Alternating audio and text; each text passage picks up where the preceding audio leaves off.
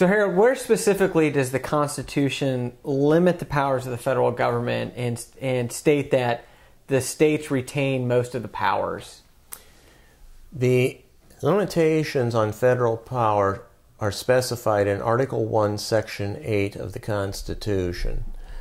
It is a fairly long section, but it is extremely specific.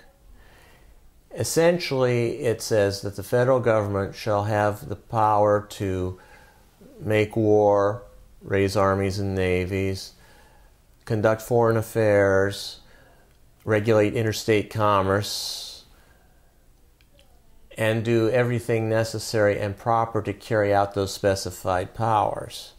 And that necessary and proper clause has been widely abused by the courts as well. In addition, the ratifiers of the Constitution, the state legislatures or conventions, were very leery of the Constitution as it was originally written because they saw many opportunities for the federal government to abuse its power. Consequently, they insisted that a Bill of Rights specifically spell out what the basic rights were for all Americans. Two of those amendments, the last two in the Bill of Rights, are germane to what we are discussing today. In the Ninth Amendment, it says that the listing of rights in the Constitution does not mean that there aren't other rights that were not listed. So, in essence, saying this is not the exclusive list of rights. Correct. These are specific ones that we we really want to emphasize that the federal government should not transgress. Right. And then we have the 10th Amendment, which reads The powers not delegated to the United States by the Constitution, nor prohibited to it by the states, are reserved to the states respectively or to the people. Now, the original draft of the 10th Amendment said the power is not expressly delegated to the federal government. However, that language was revised before it was submitted to the states by the first Congress. Now, because that word was removed, some legal scholars have created a doctrine called implied powers which were not specifically listed. I'll have some more to say about that a little bit later. And a- Alexander Hamilton would have been a proponent of the implied powers of the Constitution, would have been one of the founders who would have said, you know, there are some implied powers, they're not specifically laid out. Mm-hmm. And that's mm-hmm. really sort of that implied powers idea has really paved the way for some of the abuses that you've talked about with the Commerce Clause and the Necessary and Proper Clause. In fact, the ink was barely dry on the 10th Amendment before the attacks began. Chief Justice John Marshall was an advocate of greater federal power. In 1819, financial speculation led to a severe recession, in fact, under conditions very similar to what we are experiencing today. In McCulloch versus Maryland, the state of Maryland wanted to tax the Bank of the United States to provide funds for low interest loans to help rebuild its economy. The court struck down Maryland's law, saying the power to tax is the power to destroy. Now, keep in mind that the Bank of the United States, like today's Federal Reserve System, was a private institution. It was not an agency of the federal government. So the decision should not have been made in favor of the Bank of the United States on the on that basis.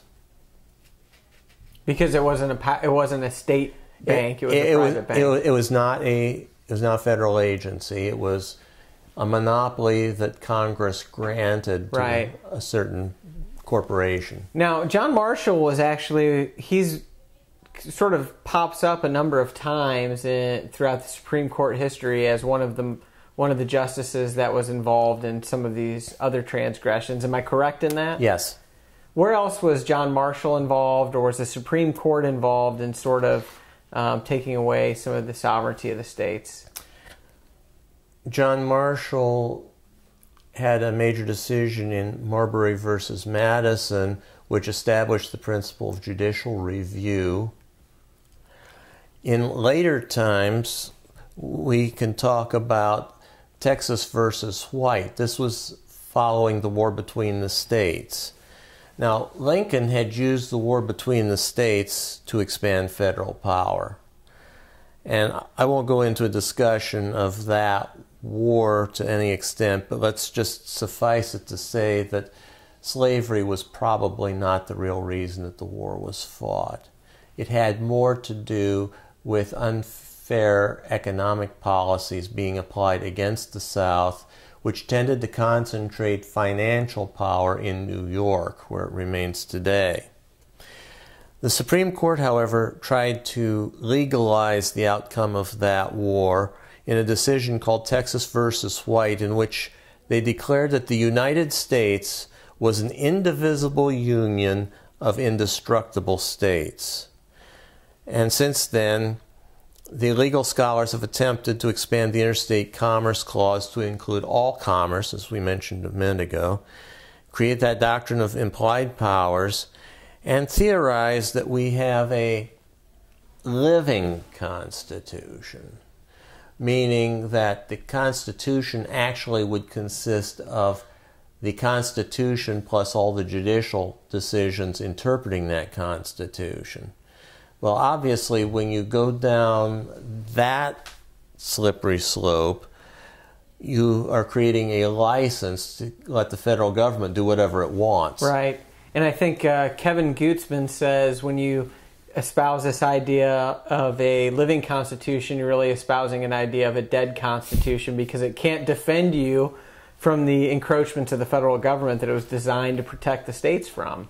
And so I think that's really, it, you see how, and, and, even the founders talked about how, uh, Thomas Jefferson specifically talked about how the Supreme Court would possibly be that branch of government that could undermine the liberties of the people um, through through this idea of legislating through the bench, which essentially the judicial review was the beginning of that. I want to thank you again for this time that we could talk about this. It's such an expansive topic. There's so many different aspects to it. Um, we're going to come back and talk in another segment about how, as the states, now that we've seen this power shifted from the state governments to the federal government, how we can go back and we can sort of take that power back, retain those powers, what we can do on a state level.